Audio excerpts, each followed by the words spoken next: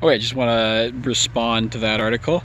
Uh, two responses. One, the statement, and then the article itself.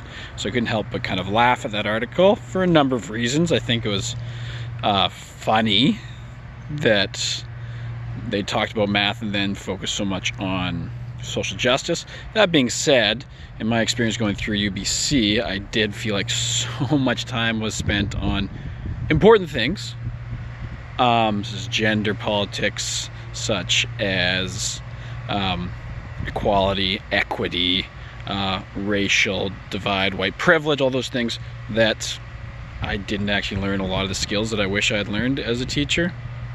Um, so there does need to be a bit of a mix so I can kind of see her from that angle.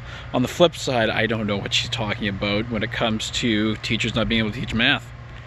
Um, also, the amount of time spent in class working on math, maybe numerous or literacy has taken the forefront over numeracy possibly and that'd be that but i don't see people spending too much time discussing western um,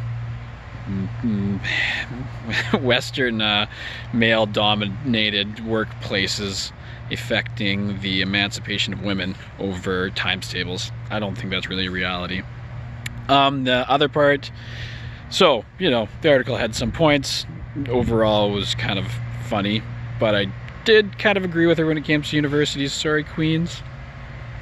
Um, the other one, uh, can we build confidence in the way we teach? 100%.